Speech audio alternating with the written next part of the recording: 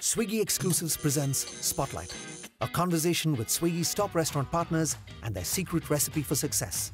Hosted by illustrious chef, fervent foodie, and inventor of the world famous Goila butter chicken, Saransh Goila, who is also renowned for being featured on MasterChef Australia.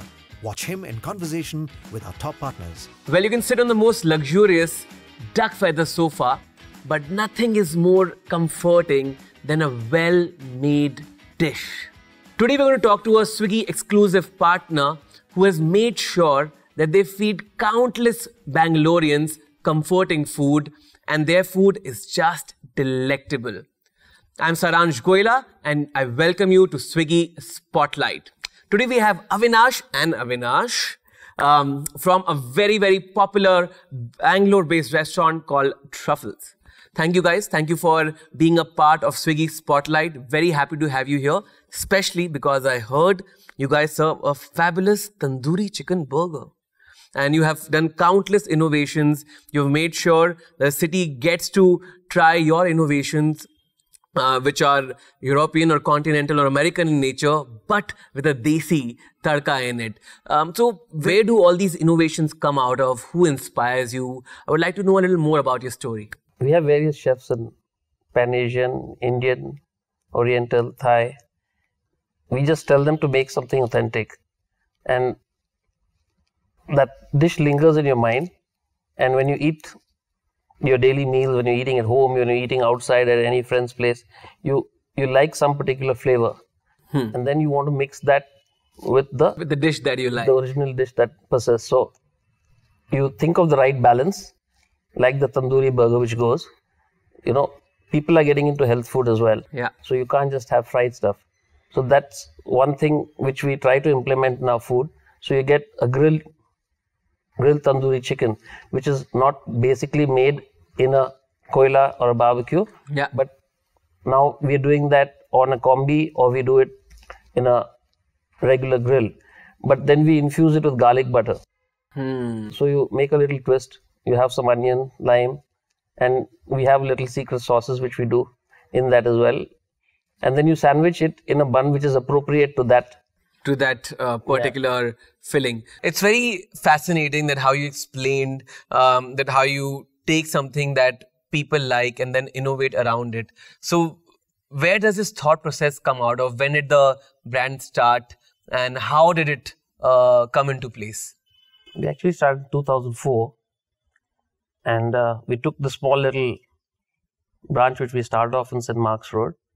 It was going to be more of a patisserie, cakes and dessert and little comfort food as well. But so much appreciation coming out of it.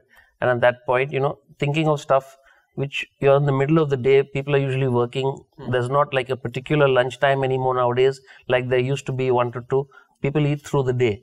And being at like a three o'clock, you cannot eat North Indian or Chinese food. You want to have something which is, you know, the space. That yeah, in the space is- snacking space. Yeah. Correct. so that's how our tagline goes, even when you're not hungry, because you already killed your appetite passing the lunchtime, but you still need to eat. Who is your inspiration um, for truffles?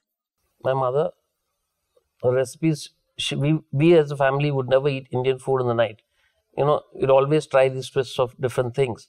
So I said, you know, why it's so brilliant what we're doing. Why can't we throw it on to the public? Hmm. You know, get something different for them to eat because eating what you're anticipating in your head every time cannot be, you know, the ultimate goal of a restaurant. Correct. You have to create something new where it's not available somewhere else. So even the desserts which are in the menu, the food which is in the menu is not available in another restaurant or not taken from a book. It's all created. That's amazing. You know, also what you're really saying is that whole maa ke haath ka khana, how do you take that and then work on it and build it into something more uh, interesting for a restaurant? Because when a consumer is going out of his house, he wants something unique and something innovative. And um, that's what all your innovations stem out of. So, what do you think has been the most um, favorite part of running this restaurant in so many years? When you see a line outside your restaurant and you know it's hard to get a table, I think that's the best thing for any restaurant here. Yeah, it's a very proud at- feeling Yeah.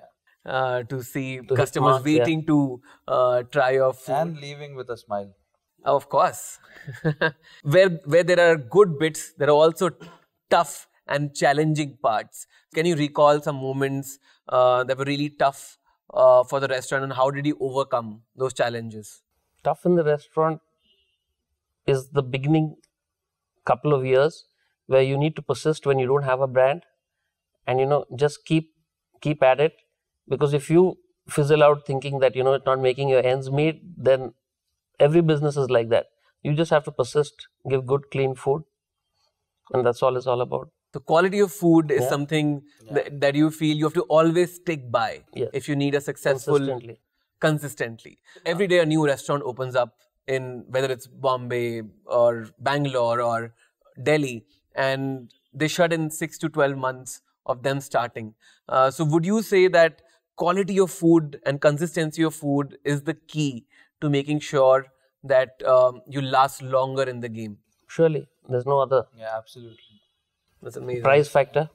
Is Of very course, important. value for both. money, but you would consider quality to be number Yeah, one. Yeah, you have to use the top-notch ingredients, otherwise it's not going anywhere. That's I like the I like the fact that you're so focused about that uh, particular part. And um, if I had to ask you, uh, what's that one USP at Truffles? What would you say? The USP at Truffles is giving the customer the same thing every time he comes. You know, you go to a lot of restaurants, one time you'll have something, but the next time it will differentiate. So the fresher the food you give, the better it's going to taste. There's no rocket science to food. It's just being fresh. Any processed food will not taste good. So, if I'm not wrong, there are about eight outlets now Yeah. in uh, Bangalore. So, um, how do you select locations, and how do you reach a decision that okay, this is the area where we should open our next outlet? you have to see the focus is on offices for the daytime, colleges for the daytime, and residences for the night. So it has to have a mix of all the public. And you see the competition around you, you do a survey for a couple of months. Great. So I know that Truffles is uh, a very popular restaurant in the city, and people stand outside in lines to they wait to um, get a hold of their dish. But times are changing, and now people also have the opportunity to be able to order it at the comfort of their own homes. What do you feel about that? That's where we got in with Swiggy. And I think we hit it at the right time, with the right food, at the right price. And we're really going a mile with them. Uh, how long have you been use, using Swiggy as a platform? About four years. 2014, when they started off, I think. Wow, that's like fairly early when you joined. I think one of their first partners. uh, the delivery bandwagon. So, um, have you seen a growth uh, in your business since you've partnered with Swiggy? To a great extent. Amazing. And um, you're also exclusively associated with them. So, does that benefit in any way? the demand and supply quotient is always a good thing in any business, right? So if you're going to make your food available to all partners in the market, you're not creating any niche, right? When People, people, are out looking for the best deal, not for so looking for your brand. We don't believe in any giving any Getting a good freebies. spot with them, and then people know once they dine with us, they know that if you want truffles, Swiggy it. Swiggy is Swiggy it is. Um, I think it's a very focused approach. And do you think a relationship like this eventually leads to uh, a larger amount of business? Definitely, because we are so comfortable with them. They know us. They know how to focus on our brand. We know how to, you know, deliver goods through them. Hmm. And rather be loyal to one partner than just be in the market. Yeah, that's that also stands true in life. Rather be loyal to one partner. Yeah. I know we're, we're talking about business and we're talking about your restaurant, but to just lighten the mood, how about we play a quick fire round? Sure. Uh, it's going to be a little spicy and fun. Um, and I would like you both to give answers. And let's see um, To the same question. to the same question. Yeah, I'm going to make it tricky. I'm going to make it a little fun. Cool. Are you guys ready? Yeah. Okay, great. First branch. St. Mark's Road, Your favorite dishes on the menu. chocolate truffle pastry, Chicken Milanese. Nice. Both have a different answer. Amazing. First employee in the company. among Longcomer. And is he still there? She, yeah, She. she's still there. Yeah, she's still there. He's still there. That's amazing. Which is the better food city? Delhi, Mumbai, or Bangalore? Mumbai. Delhi. Wow, nobody said Bangalore. That's amazing. That's amazing. Well, I would, of course, pick Delhi because I'm from Delhi. First compliment that was ever given. The food was amazing, and we could not expect that we got it at this price. What would you pick, dine in or delivery? Both. Wow, I like that. Both business minds are alike. Dining is now, delivery is the future. That's true. With the traffic increasing, I think people are slowly going to get it to their houses rather than traveling to the restaurants. And Yes, It'll be more infrequent, the restaurant. Delivery will be more frequent. I agree, and um, it also saves up a lot of time. It's easy. We're talking about comforting food, so what better than comfort of your own home? Um, so it, it kind of becomes a win-win. But I think that quick fire uh, round was fun. Uh, thank you for being a part of it. If you had to share three quick takeaways from your journey that people could uh, learn from your friends, family, what would you say are those three key things uh, at Brand Truffles that you guys follow to make it uh, into such a success? Give people fresh food, Great.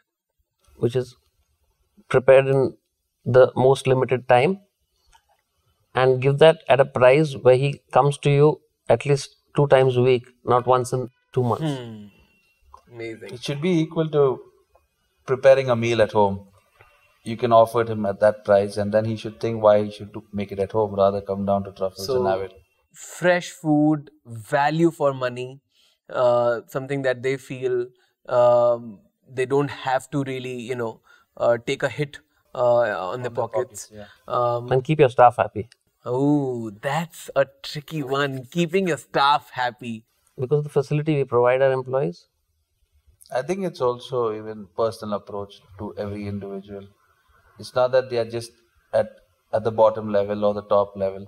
Everyone is individually looked after. Everyone is uh, spoken to individually. Their concerns are met. So they're pretty happy with us. That's amazing. You know, also they say any brand is as good as their team. Uh, so it's very important to retain um, your employees, and I think you guys are doing a great job of it. You've had such a nice relationship with Swiggy, and it's been going fairly well. Is there any feedback that you've given them, and that's been followed? And uh, have they been uh, able to support your needs uh, as as a partner? So we take Swiggy as one part of our business, which is a, quite a good part of our business. So it's not that we deal with Swiggy once in a week; it's on a day-to-day basis. Maybe we have meetings with them every one hour every day, maybe on the phone, maybe physically. But we have to capture what the customer wants and attend each problem what is there. So how do you get it faster? What machinery you put in? What is the software you put in? And you know, does it affect your in, does it affect your indine increase the size of the kitchen so we have to work together to that you just increase your business and you don't give the same quality that's the end of your business right Yeah. So we have to increase the back end to do that so we are supporting them well enough for the growth we're having at that time so every time we have a growth we do something at the back end to support that growth that's the only give way Give us the data points for our instra- infrastructure development. through Swiggy as a platform, you also get customer testimonials and feedback directly from customers. So, how does that help? we look at only the rating below 4 on a 5 scale we don't look at the ratings which are above 4 because that's all good reviews Yeah. So we pinpoint all the reviews under that each note is taken whichever branch is given to him and he has to give us a written reply why that particular thing went wrong what was the reason and then we step on rectifying that whether it was hmm. some So we look which at was not individual like orders. Correct. We don't just look at it as a whole. We look at every individual order, what went wrong, what could be the cause for the customer's concern, and how do we rectify it, and what do we need to improve on that. Well, this conversation has really been comforting because I am now craving that comforting tandoori chicken burger. Trust me, I am salivating. So, if you want to tune in and hear more such stories of successful restaurants, you can tune into Swiggy Spotlight because we have many more successful restaurateurs coming up here.